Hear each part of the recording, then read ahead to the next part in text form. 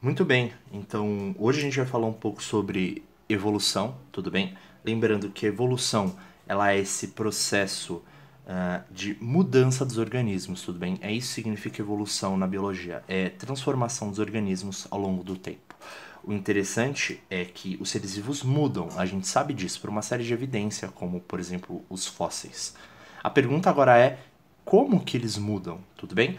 Dois caras tentaram explicar isso, Lamarck e o Darwin, tudo bem? Eles têm visões diferentes sobre esse processo e a gente vai falar um pouquinho uh, deles hoje.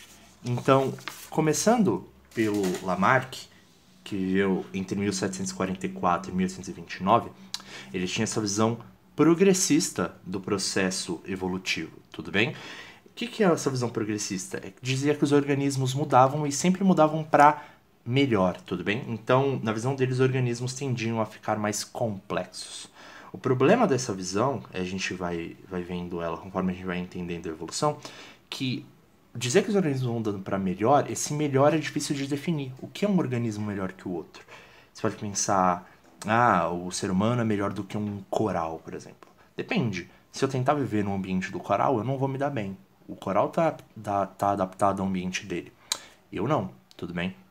Então, o que é melhor varia muito tudo bem? E o que é bem importante da gente entender sobre a visão do Lamarck é que o ambiente ele gera uma necessidade de adaptação. É como se o organismo quisesse se adaptar ao ambiente que ele está, tudo bem? E o Lamarck vai acabar formulando duas leis, tudo bem? Para explicar esse processo evolutivo no qual ele, uh, ao qual ele formulou. Então, a primeira lei é a lei do uso e do desuso, tudo bem? Essa lei diz que partes, ou seja, estruturas do organismo que são utilizadas, né, as mais utilizadas, vão se desenvolver, tudo bem? E a partir do desuso, ou seja, as estruturas menos utilizadas, elas vão se reduzir e tender a sumir. O clássico exemplo que a gente usa para falar do Lamarck é o exemplo da girafa, tudo bem? Então vamos supor que o ancestral da girafa aqui, ele tivesse um pescoço mais curto. E por causa disso ele tinha dificuldade em alcançar certas folhas das árvores das quais ela se alimenta, tudo bem? O que, que acontece? Ela vai constantemente esticar o pescoço dela para alcançar né, as folhas. Então, o que, que ela está fazendo? Ela está usando o pescoço. O que, que vai acontecer com o pescoço? Vai se desenvolver, tudo bem? Então, conforme ela usa o pescoço, esse pescoço vai aumentar, aumentar e é, depois de um tempo o pescoço dela vai estar tá maior. Tudo bem, aqui eu dei uma, exagera uma exagerada no tamanho do pescoço dela, o quanto ele aumentou. A ideia é que ele aumentasse aos poucos, né? Mas conforme ela fosse usando a estrutura, ela vai se desenvolvendo. O desuso, é, você pode pensar, por exemplo, uh, em serpentes. Né, um exemplo que caberia aqui. As serpentes teriam deixado né, de utilizar as suas pernas, né? Elas foram menos utilizadas e conforme elas foram menos utilizadas, elas se reduziram até sumir e a gente tem as cobras, as serpentes uh, sem patas que a gente conhece hoje. Tudo bem? Essa é a lei do uso e do desuso. A segunda lei, uh, ela complementa a primeira, que é a lei da herança dos caracteres adquiridos. Ou seja, herança, né, você passar alguma coisa. O que, que você está passando? Seus caracteres adquiridos, ou seja, as características que você adquiriu ao longo da vida. Por exemplo, a girafa, que aumentou o pescoço ao longo da vida dela, vai passar esse pescoço grande para o seu filhote, né? Então, essas características adquiridas ao longo da vida seriam passadas de uma geração até a outra. Dessa forma, as características que é, foram desenvolvidas ao longo de várias gerações é, iriam uh, resultar nas espécies que a gente tem hoje, por exemplo, a girafa com aquele pescoço bem grande que a gente está acostumado a ver. Tudo bem? Bom, agora que a gente já viu um pouco sobre como o Lamarck pensava a evolução, vamos tentar aplicar esse pensamento dele. É, vamos trazer então esse exemplo de evolução lamarquista, tudo bem? Visualizem um tamanduá, tudo bem? Bem, todo mundo tem uma ideia do que é o tamanduá. E ele se alimenta de formigas e cupins, tudo bem? E ele é extremamente adaptado a esse tipo de alimentação. Ele tem essa língua longa e pegajosa que ele usa para capturar as formigas dentro do formigueiro e ele engole elas inteiras, tudo bem? Ele não mastiga elas. Por isso que ele não possui dentes, tá? Dito isso, como o tamanduá atual teria surgido, segundo Lamarck, tudo bem? Bom, primeiro, lembrem-se, Pelo ambiente no qual o tamanduá estava, uh, ele tinha disponível como alimentos os cupins e as formigas, ele teve essa necessidade de se adaptar à alimentação é, desses animais, tudo bem? Essa necessidade que o Lamarck tanto coloca. Então, essa necessidade que o ambiente impôs a ele, tudo bem? Fez com que ele desenvolvesse algumas estruturas e reduzisse outras. Por exemplo, pela necessidade que ele tinha, ele utilizou muito a língua dele, tudo bem? E essa língua acabou se desenvolvendo e tornando essa língua é, comprida e pegajosa. Por outro lado, como ele não utilizou os dentes, ele não tinha necessidade de usar os dentes, essas estruturas que não foram utilizadas acabaram se reduzindo, tudo bem? Ele não tem mais dentes. Beleza, você pensa, poxa, interessante. E essa é a lei do uso e desuso que a gente falou, né? O interessante é que a segunda lei também se aplica agora, né? Se você pensar que a outra lei, que é a lei da herança dos caracteres adquiridos, diz que essas características adquiridas foram passadas ao longo do tempo, então o ancestral do tamanduá, que não tinha essa língua tão desenvolvida e ainda devia possuir dentes, conforme ele teve essa necessidade de se alimentar uh, de cupins e formigas, ele foi desenvolvendo a língua e perdendo os dentes até que ele chegou no formato que a gente conhece hoje, tudo bem? Tudo isso passando de uma geração a outra, essa é a, é a lei da herança dos, dos caracteres adquiridos de Lamarck, tudo bem? Acho que deu para entender mais ou menos o que Lamarck pensava. O interessante agora é a pergunta: Lamarck estava certo? Tudo bem? Será que o pensamento de Lamarck é o que a gente consegue comprovar hoje através do método científico? A parada é o seguinte: não. O Lamarck tem uma série de problemas, tudo bem? No, no raciocínio dele. Primeiro, por que, que o Lamarck estava errado? A primeira lei diz que é, estruturas usadas se desenvolvem, estruturas que não são utilizadas atrofiam, reduzem, desaparecem, né? Mas o negócio é o seguinte, nem toda estrutura se desenvolve ou se reduz pelo uso e do desuso. Por exemplo, você pensar num músculo, quanto mais eu utilizar o meu músculo, mais ele desenvolve. Ok, beleza. O problema é que, por exemplo, quanto mais você utilizar seu olho, por exemplo, para ler, se você lê demais, significa que você vai adquirir uma visão incrível, mais aguçada, etc. Sua estrutura ocular vai melhorar? Não. E tem uma série de outros exemplos na qual isso não se aplica. Às vezes, uma estrutura utilizada a, a, é, a exaustão pode até se danificar em vez de se desenvolver, tudo bem? E tão pouco estruturas pouco utilizadas vão reduzir, tá? Outra coisa, não há transmissão de caracteres adquiridos ao longo da vida. Quer dizer, por exemplo, aqui no desenho, Vamos supor que o pai é um cara que fez musculação durante a vida dele e ele tem essas estruturas desenvolvidas, essa característica de ser, uh, né, sei lá, musculoso, né? Uh, essa característica de ser musculoso que ele adquiriu ao longo da vida. Ele vai passar pro filho dele? Não, o filho dele não vai nascer bombado. Se você já viu isso por aí, é bom você entrar em contato com alguns cientistas porque a gente nunca observou isso, tá? É, sei lá, outros exemplos, se o cara se tatuar, né? É, sei lá, escrever aqui mãe, fizer uma homenagem para a mãe dele, é, essa tatuagem, essa característica que ele adquiriu ao longo da vida não vai passar pro filho dele, tudo bem? Então, as duas leis que Lamarck uh, desenvolveu, a gente acabou refutando através do método científico, ok? Bom, agora que a gente já falou um pouco sobre as ideias do Lamarck, a gente pode falar um pouco sobre Charles Robert Darwin, tudo bem? Uh, ele viveu entre 1809 e 1822. E ele publicou em 1859 um livro chamado A Origem das Espécies. Que é esse livro aqui, inclusive, que eu tenho aqui na cabeceira da minha cama.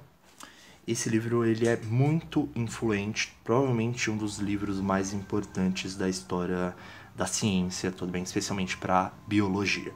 O Darwin, então, nesse livro, ele formula uh, o mecanismo é, da evolução, o qual ele formulou, tudo bem?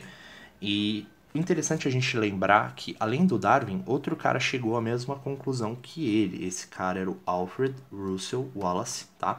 Um cara mais novo que o Darwin, só que ele chegou às mesmas conclusões, né? Que a gente vai ver daqui a pouco. E eles chegaram a publicar junto e tal. Por que, que a gente fala mais do Darwin do que do Wallace? Porque o Darwin estudou por mais tempo todo esse mecanismo, então ele tinha mais evidências sobre tudo isso. Mas a gente não pode deixar de falar do Wallace, tudo bem? Bom,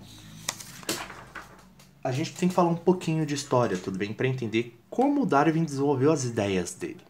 era interessante é, que o Darwin ele era fixista, tudo bem? Ele era um cara que acreditava que a vida não se transformava ao longo do tempo, que não havia esse processo evolutivo, tudo bem? Mas uma coisa vai mudar essa visão dele, que é a viagem dele num navio chamado HMS Beagle, tudo bem? HMS Beagle. Esse navio que saiu da Inglaterra, passou pela América do Sul, inclusive pelo Brasil, ele passou na Bahia, eh, deu a volta na América do Sul, deu a volta ao mundo, passou pela Austrália, Sul da África e depois voltou para a Inglaterra. O interessante pra gente é a passagem dele por Galápagos, tudo bem? Que é um arquipélago de ilhas, é um arquipélago de ilhas ali uh, na, uh, nas Américas, tudo bem? Lá no arquipélago de Galápagos, o Darwin encontrou os tentilhões, que é um tipo de ave, tudo bem? Que ilustra pra gente é, como Darwin acabou mudando a visão dele. O que, que ele percebeu? Ele percebeu que nas diferentes ilhas é, de Galápagos, você tinha os tentilhões, essas aves, adaptadas às diferentes ilhas, ou seja, adaptadas na verdade aos diferentes tipos de alimento disponíveis. Ou seja, que você tinha bicos adaptados às diferentes alimentações. Então, para ilustrar isso, um bico mais grosso para quebrar sementes, um bico mais cortante para cortar folhas, um bico mais longo para capturar insetos nas suas tocas, um bico mais adaptado a usar ferramentas que também seriam utilizadas para capturar alimentos, um bico mais uh, pontudo e perfurante para as folhas. Então, você tinha esses bicos adaptados a diferentes ilhas. E o Darwin acabou pensando, poxa, mas como é que isso ocorreu? Ele chegou à conclusão que provavelmente um ancestral uh, foi o primeiro a chegar naquelas ilhas, e conforme a população de tentilhões foi aumentando e foram ocupando diferentes ilhas, eles acabaram desenvolvendo diferentes adaptações para cada ilha, tudo bem? Só que o Darwin então conclui: beleza, provavelmente existia um ancestral, tudo bem? Comum a todas essas espécies diferentes, tá? Ele é ancestral de todo mundo. E esse ancestral comum Conforme ele foi aumentando o número da população, ele foi se adaptando às diferentes ilhas. A pergunta que ficou para o Darwin é como que essas características surgiam, né? Como é que elas é, se fixavam nas diferentes populações? Como é que essas características acabavam uh, se fixando nas diferentes espécies? E ele voltou para a Inglaterra com essa pergunta, ok? Então, o Darwin voltou para a Inglaterra com essa pergunta, né? Uh, qual é o processo que dá origem as adaptações, tudo bem? Ao surgimento dessas adaptações. E ele uh, continuou estudando isso durante muito tempo e ele encontrou uma pista, tudo bem? Que é um processo que hoje a gente chama de seleção artificial. O que, que o Darwin notou? Ele, ele observou que as plantas né, e os animais domésticos que a gente tem, os bois, as vacas, os cachorros, os gatos, os legumes, as frutas que a gente planta, eles acabaram surgindo de um, de um processo que é, no qual ocorria mudanças, as quais eram causadas, entre aspas, tudo bem, pelo ser humano. Como assim? Talvez você não saiba disso, mas, por exemplo, o cãozinho que muitas pessoas têm em casa hoje, os, os cachorros, eles não existiam há 10 mil anos atrás. Então imagine o seguinte: há 10 mil anos atrás o ser humano ele vivia como nômade, né? Ele ia de local em local, uh, coletando as frutas, caçando e, e andando. O que acontece? Ele deixava resto de comida por onde ele passava. E os lobos, que são os ancestrais dos cães, esses lobos eles se aproveitavam desses restos de comida deixados pelo homem. Acontece que os lobos menos uh, medrosos, que tinham menos medo do ser humano, conseguiam se aproximar mais deles e, se, e aproveitar melhor esses restos. O homem também percebeu que ele podia se aproveitar da presença do lobo, porque ele afastava outros animais perigosos. Então começou a surgir uma espécie de aliança entre homens e cães, na qual o homem foi selecionando, né, foi escolhendo, tudo bem, o cão sempre mais dócil, que era mais manso em relação ao ser humano. E o, e o, e o cão foi ficando, então, é, é, cada vez mais amigo do ser humano. Acontece, então, esse processo de seleção. Os lobos não eram todos iguais. Tinha o lobo mais bravo e o lobo mais manso. O ser humano sempre escolhia qual? O mais manso, tudo bem?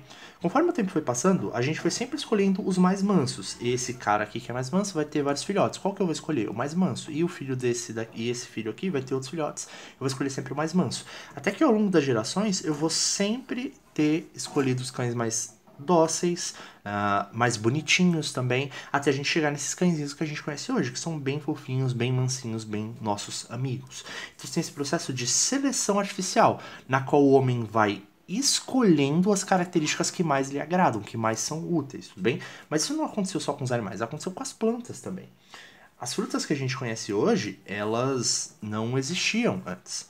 Então, pense que eu tenho uma variedade, tudo bem? Uma variabilidade dentro das bananas, por exemplo, das bananas ancestrais.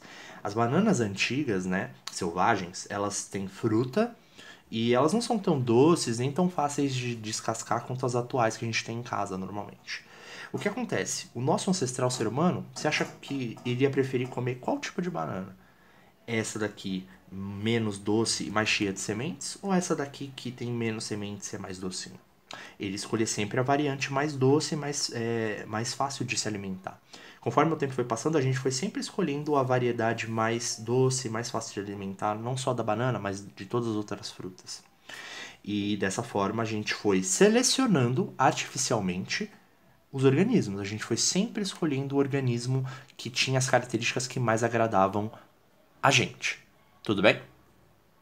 Então, depois de encontrar essa pista da seleção artificial, o Darwin realizou que esse processo também podia ocorrer na natureza, tudo bem? Só que na seleção artificial, quem escolhe as características mais desejáveis é o homem, o homem que escolhe. Agora, a pergunta que surgiu para ele é: quem é que escolhe as características mais desejáveis na natureza? Tudo bem? Tendo essa pergunta em mente, ele acabou sendo muito influenciado pelas, ideia, pelas ideias de um homem chamado Thomas Malthus, tudo bem? Então você tem essa influência do pensamento malthusiano, tá? Bom, vocês já devem ter ouvido falar, mas relembrando, o Thomas Malthus, é, ele tinha a ideia de que a produção de alimentos ela crescia num ritmo de progressão aritmética, tudo bem? O que é progressão aritmética? Ele defendia que um fator é, determinava o crescimento dessa população e em soma, né? Então, se a gente tem um fator 2, o crescimento seria no ritmo de 2, mais 2, mais 2 e assim por diante, tudo bem? O crescimento de alimentos, a produção de alimentos cresce dessa forma, segundo Thomas Malthus. E o crescimento da população se dá por progressão geométrica, tá? Por, por PG. Então, se a gente tem também o fator 2, no caso da progressão geométrica, você não vai somar, você vai multiplicar. Então você tem 2 vezes 2 vezes 2. Se você põe em perspectiva esses dois ritmos de crescimento, a gente, você vai perceber que a população cresce mais do que a produção de alimentos. E a gente teria um gráfico mais ou menos assim, tudo bem? Então aqui a gente tem o tempo e aqui a quantidade, seja de alimento ou seja do tamanho da população. O que acontece? A produção de alimentos está crescendo naquele ritmo de progressão aritmética. Só que a população cresce num ritmo muito mais rápido, tudo bem? Então chega nesse momento aqui de crise que eu destaquei, no qual a produção de alimentos é insuficiente para sustentar a população humana. Então você tem o que, basicamente? Muita gente para pouca comida, tudo bem? Então esse era um problema que gerava uma luta por recursos, uma luta por sobrevivência. Ou seja, você tem é, pouca comida para muita gente. Algumas pessoas só vão se alimentar, outras vão passar fome, tudo bem? Só esclarecendo uma coisa, essa visão do Malthus, é, ela acabou desconsiderando o avanço da ciência. Hoje, para a população humana, isso não é mais um problema com o avanço da ciência, da agricultura, a gente hoje produz muita comida, tem mais comida do que pessoas. As pessoas passam fome por uma questão de uh, problema na distribuição desses alimentos, tudo bem? Bom, voltando para o Darwin, uh, isso ajudou ele bastante, porque ele realizou que essa luta pela sobrevivência podia ocorrer com os organismos também. Na natureza, os recursos também são limitados. Você não tem comida para todo mundo. Então, o que você acaba tendo é uma luta por esses recursos. E dessa forma a gente pode falar um pouco então do darwinismo, esse pensamento uh, é, do Darwin sobre a evolução. Muito importante. O Darwin, ele vai é, colocar pra gente que a população apresenta uma variação. Isso é verdade. Pensa numa população de seres humanos, por exemplo. Pensa numa sala de aula, que tem, sei lá, 40 alunos. São todos da mesma espécie, são da espécie humana. Então você tem uma população. Só que esses alunos são todos iguais? Não. Tem tons de pele diferente, é, cabelos diferentes, vozes diferentes, alturas diferentes. Você tem então toda uma variação. Isso acontece com todos os organismos, desde bactérias, protozoários, fungos, plantas, animais, né? Então você tem essa variação. E você tem esse limite de recursos né, que o Darwin observou no tra nos trabalhos do Thomas Malthus. Então você vai ter essa luta pela sobrevivência, em que os mais aptos sobrevivem. Né? Os que conseguirem conseguir mais alimento vão sobreviver. A questão é, né, o que determina os mais aptos? É o ambiente, tudo bem? Então, quem é que está selecionando as características mais desejáveis na nossa pergunta anterior? Quem está selecionando é o ambiente, é a natureza, tudo bem? Então você tem essa seleção natural. É a natureza selecionando a variedade mais desejável para ela. Vamos ver um exemplo disso então? Vamos supor então que eu tenho uma população de leões, tudo bem? Aqui eu fiz duas leoas, tá? Uma mais laranjinha, outra mais amarelinha, tudo bem? Então você tem essa, essa variação na população uh, de leoas, né? No caso aqui a variação se apresenta na coloração delas você vai ter uma luta pela sobrevivência, né? Qual leoa que vai sobreviver? Vai conseguir disputar melhor os recursos? Amarelinho ou laranja? Quem é a mais adaptada, galera? Bom, não dá para saber. Quem é que vai dizer pra gente? É o ambiente, tudo bem? Então eu tenho que colocar um ambiente aqui para elas. Vamos supor que elas vivem nesse gramado é, amarelado aqui. Agora, quem é que vai conseguir caçar melhor? Tudo bem? Bom, Agora dá pra gente dizer que é a variante amarela, porque ela tá meio camuflada aqui. Então a, as presas dela não vão conseguir ver ela muito bem, ela se aproximando, e ela vai conseguir caçar com um pouco mais de facilidade do que essa. Então ela vai conseguir comer melhor, vai ter mais energia para caçar mais, para ter filhos e deixar os descendentes dela. Por outro lado, essa daqui vai conseguir não vai, vai ter uma dificuldade maior na hora de caçar, não vai se alimentar tão bem, é, vai ter menos caça do que essa, então ela vai ter menos filhos, talvez ela morra, e conforme a população dela vai diminuindo dessa variante aqui, ela vai acabar sumindo e vai sobrar apenas a variante mais amarelinha, tudo bem? Ou seja, o ambiente determinando quem é a mais uh, adaptada. O interessante é que, ah, então a gente pode dizer que a variante amarela é mais evoluída do que a laranja, gente, jamais digam mais evoluído. Isso não existe, tudo bem? Primeiro porque mais evoluído significa que você mudou mais. Né? Lembra que evolução significa mudança. E todos os organismos passaram pelo, pelo processo evolutivo, todos que estão vivos, tudo bem? É, então eles passaram pelo mesmo, pelo, pelo mesmo tempo de processo evolutivo. A diferença é que é, um está adaptado a um ambiente, outro está adaptado a outro tá? E outra coisa, não necessariamente a leoa amarela é maior do que a laranja. Nesse ambiente ela é, mas o ambiente muda, a Terra se transforma ao longo do tempo. Então vamos supor que esse ambiente aqui é, mudou, que ele deu lugar a um terrão mais alaranjado, né? Quem que se daria melhor num terrão alaranjado, né? Dando exemplo meio, meio bobo assim, né? Seria a variante alaranjada e não amarela mais. Esse cara aqui, ia ter, essa, essa leoa aqui ia ter uma prevalência maior, ia conseguir sobreviver com mais facilidade, a variante amarela poderia desaparecer nessa situação. Tudo bem? Então, olha só como o ambiente seleciona naturalmente uh, as características, as variantes. Tudo bem? Isso é seleção natural.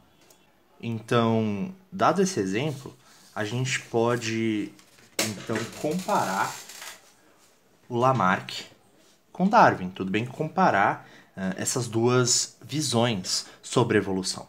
Então, o Lamarck ele tinha a visão de que a adaptação era ativa, enquanto o Darwin tinha a visão de que a adaptação era, era passiva, tudo bem? O que significa, né, nesse sentido, ativo ou passivo? Ativo é quem faz algo ativamente, ou seja, eu estou me adaptando ativamente, eu quero me adaptar, eu estou indo atrás disso. Enquanto o passivo, ele simplesmente se adapta sem perceber.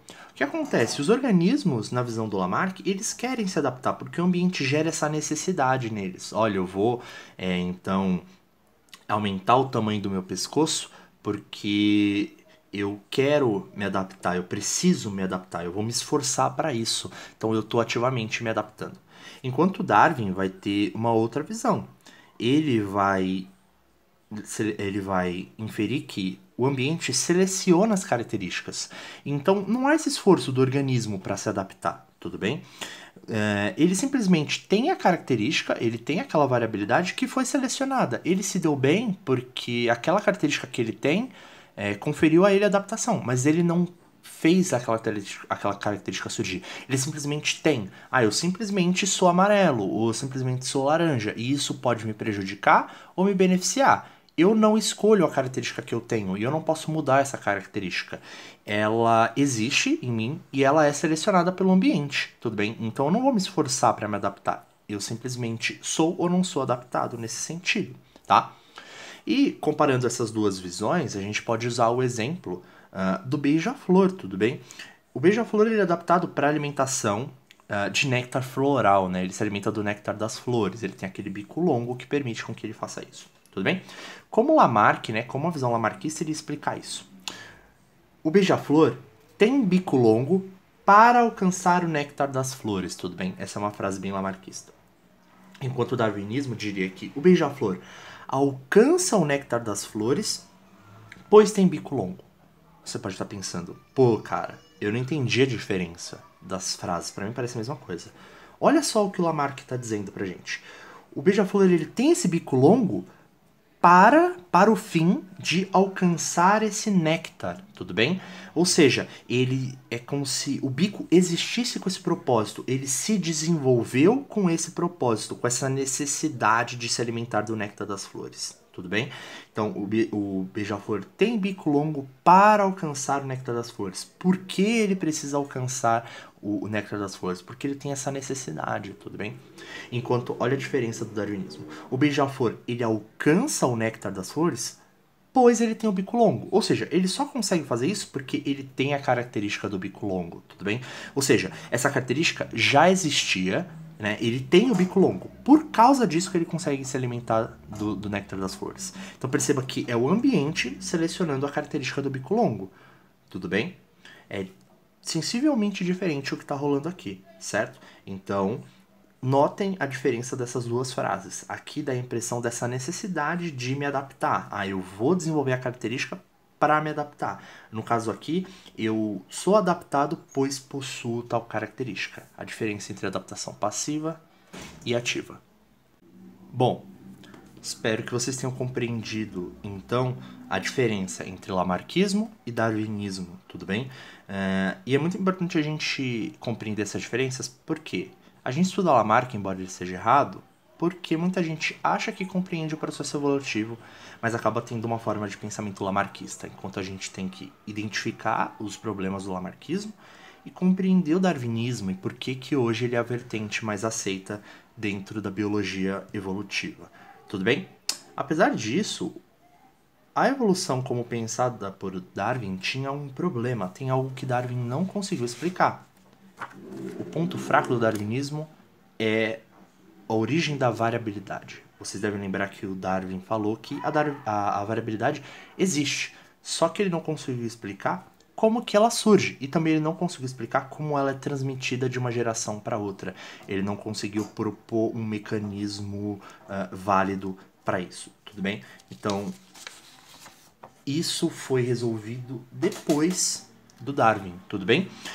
É a explicação para surgimento de novas características de variabilidade e para como elas são transmitidas entre gerações é a genética do Mendel, tudo bem? O Gregor Mendel, o pai da genética, ele fez aquele experimento com as ervilhas que vocês devem ter ouvido falar, pelo menos. E a genética do Mendel explica como que essas, essa variabilidade surge e como que ela é transmitida. A questão é que os trabalhos do Mendel ficaram, digamos assim, sem serem descobertos pela, pela por boa parte da academia científica, eles só foram redescobertos em 1900, tá? Quando Darwin inclusive já tinha morrido. Então, os trabalhos do Mendel acabaram complementando o trabalho do Darwin, tudo bem? E a partir disso surgiu o neodarwinismo, tudo bem? Ou o novo darwinismo, também conhecido como teoria sintética da evolução. Quando eu falo neodarwinismo ou teoria sintética, é, são sinônimos, tudo bem? Então, como ele explica esse surgimento e a transmissão de características, agora está tudo explicado, tudo se encaixa muito bonitamente, tudo bem? Então, a genética mendeliana mais a seleção natural do Darwin dá origem à teoria sintética da evolução. Tudo bem? A gente pode explanar um pouco a teoria sintética da evolução, certo? Então, a genética ela acaba explicando uh, a variabilidade através de um processo conhecido como mutação, que você já deve ter ouvido falar, né? Quando a gente fala, por exemplo, de X-Men, a gente fala dos mutantes, né? Que sofreram mutação. Mas afinal de contas, o que é o processo de mutação? Tudo bem? Quando a gente estuda biologia, a gente estuda um pouco de células, né? Então vamos supor que cada uma dessas bolinhas roxas aqui que eu fiz seja uma célula, né? Mais, mais ou menos começando por essa aqui. E toda célula tem uh, seu material genético, tudo bem? Que aqui eu representei essa fita dupla de DNA para mostrar o material genético. E as células elas se multiplicam, tudo bem? Através de um processo conhecido como mitose. Então, através da mitose, essa célula aqui vira duas, tudo bem? No final do processo você tem duas células. E a mitose normalmente ela gera duas células idênticas à primeira. E para que essas duas células sejam idênticas à primeira, elas têm que ter exatamente o mesmo material genético. Então elas teriam que ter um material genético igualzinho à da primeira, tudo bem? Esse é o processo de mitose. Só que tem um problema, né? Como aqui eu tenho uma, um, essa dupla fita de material genético, de DNA, e no final eu preciso de duas células, eu vou precisar duplicar esse material genético para que eu tenha o mesmo DNA aqui e o mesmo DNA aqui. Então eu tenho que fazer uma cópia desse DNA. Eu vou lá e copio esse DNA para ter duas cópias e dar uma para cada uma das células filhas. Só que tem um problema aí. Uh, normalmente as células fazem isso muito bem, elas são muito boas em fazer cópias de DNA, tá? Do seu próprio DNA para fazer novas células. Só que às vezes elas erram tudo bem? Na hora de copiar esse DNA. Então vamos supor que na hora de copiar o DNA, na hora de fazer a mitose, a célula foi lá e errou, tudo bem? Ela errou. Ela fez uma parte do DNA um pouquinho diferente, tudo bem? Isso daqui, né? Isso daqui é uma mutação, tudo bem? Mutação significa exatamente modificação, mudança, certo? Então, a mutação é essa, esse erro. Sendo a mutação esse erro na hora de copiar uh, o material genético, o que é interessante? O material genético ele define as características de um organismo. Então, se eu modifico o material genético, eu modifico as características do organismo. Então, toda vez que ocorre uma mutação, surge uma nova característica, surge variabilidade, tudo bem? E a característica genética, ela, o, o, os genes, né, o material genético é passado de pai para filho. Então essa característica é, também acaba sendo passada e a gente tem a hereditariedade, esse mecanismo de hereditariedade, tudo bem? Então, uma vez que a mutação explica o surgimento da variabilidade, isso explica o que Darwin não conseguiu explicar é, a gente tem a variabilidade surgindo, sendo transmitida, e essa variabilidade, essas novas características vão ser selecionadas a seleção natural. Seleciona as mutações mais favoráveis a determinado ambiente, sempre lembrando disso. E essas mutações vão ser passadas de geração em geração através da genética. Tudo bem? Então, vamos fazer um exemplo prático, voltar para girafas lá do uh, Lamarck e ver como que Darwin, né, ou melhor, a teoria sintética da evolução explicaria isso. Você tem uma variabilidade na população de girafas. Girafas com pescoço maior, girafas com pescoço menor, etc. Né? Isso se dá porque uh, elas têm a genética diferente e isso é resultado tanto das mutações quanto também do cruzamento entre girafas. Né? Uh, e essas, essas variabilidades vão ser selecionadas pela seleção natural do Darwin, que vai escolher, nessa, nesse caso aqui, o ambiente acaba favorecendo girafas de pescoço maior porque elas conseguem alcançar mais o topo das árvores. Então, depois de um tempo, como as girafas maiores vão ter mais alimento, elas vão deixar mais descendentes e vão acabar é, deixando, é, aumentando o número de girafas de pescoço grande na população, tá? E aí, depois de um tempo, a maioria das girafas vai ter esse pescoço grande. certo? Faz sentido? Para fechar, então, vamos dar alguns outros exemplos do neodarwinismo, tudo bem? Um dos exemplos é o DDT e os insetos, tudo bem? O DDT é, é, foi um, né, um inseticida desenvolvido para ser utilizado em plantações para eliminar pragas, para eliminar insetos. Então, aqui nessa situação, você tem um monte de praga de insetos. O que, que acontecia? As, a, os fazendeiros utilizavam DDT para eliminar as pragas, para eliminar os insetos. Só que esses insetos não são todos iguais. A maioria deles podia morrer com DDT, mas algumas variantes deles né, por ter ali alguma mutação, alguma característica que já existia antes, não é que a mutação surgiu por causa do DDT, tá? Ela já existia. E aí o DDT matou os, a maioria dos insetos e restaram apenas os resistentes. Que o que acontece? O ambiente agora está selecionando, né? Uh, os mais os, os resistentes, os resistentes ao DDT. E conforme o tempo vai passando, quem vai sobreviver são só esses resistentes e eles vão deixar cada vez mais descendentes, galera. Então, depois de um tempo, a maioria da população é resistente ao DDT e esse inseticida não funciona mais. Então, você tem que desenvolver novos inseticidas. Um outro exemplo que se aplica bastante à nossa vida é o exemplo das bactérias e dos antibióticos, tudo bem? Antibióticos são remédios para tratar, tratar doenças causadas por bactérias. Então vamos supor que cada uma dessas bolinhas seja uma bactéria, né, da, me, do, da mesma espécie. Tem uma delas aqui que é um pouquinho diferente porque ela já tinha uma mutação, mas não fazia muito, muita diferença porque essa mutação dela não conferia a ela uma resistência maior nem nada. Só que quando eu usei um antibiótico para tratar, uh, para eliminar essas bactérias, a maioria delas morreu, tudo bem? Menos essa daqui, porque aquela mutação dela, que ela já tinha antes, por acaso essa mutação surgiu, isso é importante de salientar, tá? As mutações surgem aleatoriamente. A gente falou, ela é um erro, tudo bem? Lá atrás. Então, a mutação surgiu aqui em algum momento e se ela não me prejudicou, ela vai ser mantida. E se ela me beneficiar, aí ela vai ser espalhada, tudo bem? No caso aqui, ela me conferiu resistência ao antibiótico, ela conferiu resistência a essa bactéria. E conforme o tempo vai passando, essa bactéria vai aumentar o número da população, porque mesmo que eu use o antibiótico, ela não é afetada ela continua aumentando o tamanho da população. Isso explica então a resistência criada é, é, que as bactérias criam, essas bactérias resistentes. Vejam bem, não é que a bactéria ela se torna resistente, tá? Isso tem que ficar muito claro. Então, repetindo, o surgimento de variabilidade se dá através das mutações, principalmente. E as mutações são totalmente aleatórias.